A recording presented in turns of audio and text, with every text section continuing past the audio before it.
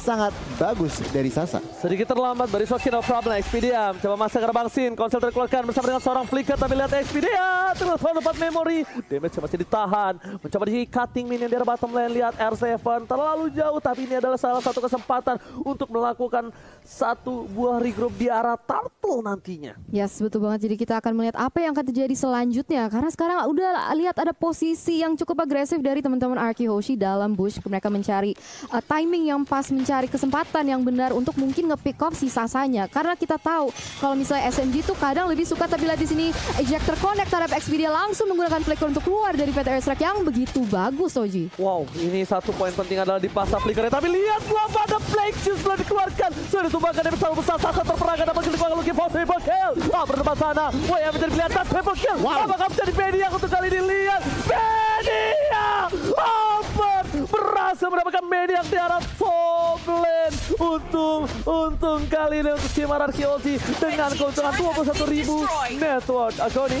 Wow, bener banget. Raksasa harus dihilangkan dan bahkan Albert Maniac pertama di M3.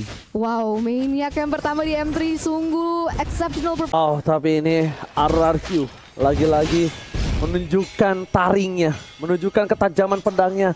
Karena RRQ itu dari dulu adalah salah satu tim yang sangat sulit ditembus untuk dari segi turretnya. Dan lihat, di menit 11 dia hanya mendapatkan satu turret. RRQ bermain dengan lebih disiplin untuk kali ini. Walaupun kita lihat, dengan ada outplay dilakukan di arah bottom lane dari seorang Sasa, ternyata itu bukan masalah besar. Itu di reset kembali. Mereka lagi-lagi laning phase-nya. Mereka dis disiplin. Mereka tidak mau ada yang lewat dari para minionnya. Dan dua titik yang sangat lemah kali ini harusnya sudah di-clear di arah bottom dan juga top lane. Karena minion agak cukup bebas di daerah sana ya. Yes, betul banget. Jadi permainan disiplin adalah kunci dan sekarang Arki Hoshi lead dengan 9.000 gold, hampir 10.000 ini sekarang. Dan Albert berusaha untuk membuka map, dia tetap harus berhati-hati, jangan sampai ceroboh. Karena kalau misalnya bisa bikin mistake, apalagi kita udah di menit yang ke-12 itu bisa menjadi sangat fatal. Apalagi melawan tim sekuat SMG. Uh, yang bahaya shutdown ya. Yang bahaya shutdown. Shutdown, shutdown duit dari, dari shutdown itu yang Iya. sangat-sangat besar yang bisa untuk membalikan gold dan bahkan mereka benar-benar sangat sangat disiplin. Berhati-hati. Iya, nggak mau sama sekali memaksa ke arah inhibitor gue nih. Iya sebenarnya banget. Karena lihat Lordnya udah 40 detik lagi. Tentunya tim RRQ juga mereka nggak mau gegabah. Oke 10.000 gold. Tetapi mereka juga nggak mau asal-asalan buka. Tentunya Albert nggak bisa di shutdown tadi Oji udah bilang. Clay-nya juga lagi masih rawan 204 jadi tentunya tim SMG ini lagi nunggu celah lagi nunggu opening buat blunder dari teman-teman RRQ tentunya RRQ nggak akan kasih opening itu Wow, itu dia dan bakal lihat dengan adanya Mr. Lord yang akan muncul eh yang terhormat apa bahasa Inggrisnya?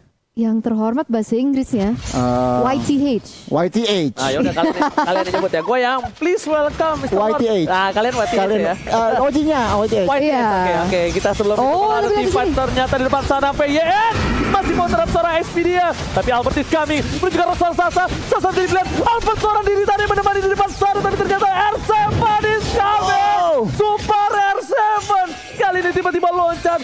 Menetralisir semua. Mereka tidak jadi melakukan Lord. Karena kali ini hampir saja Pipin tercuri. Wow, wow, wow. Tapi walaupun tidak ada yang ditumbangkan dari tim SMG, sekarang mungkin mereka masih mencari dan tidak mau overcompensate, tidak mau overcommit kepada tim fight di mana mereka bisa blunder. Dan sekarang mereka udah memposisikan diri mereka untuk ngeambil buff-buff dari teman-teman SMG.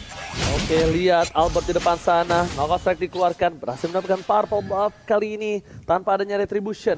Di sisi lain, dari tim SMG mereka tidak tinggal diam. Mereka masih mau lebih. Clay di depan sana harus coba tercover. Lihat Lord sebentar lagi coba ditumbangin oleh seorang Albert. Retribution cukup bagus dipasangkan tim fight. Ejector lagi ke arah belakang. Dan bahkan di SSC udah gak bisa pulang mau jadi koyak. Albert masih mau lebih. Sebentar menjadi pilihan. Knockout strike R7 menumbangkan sang raksasa di depan.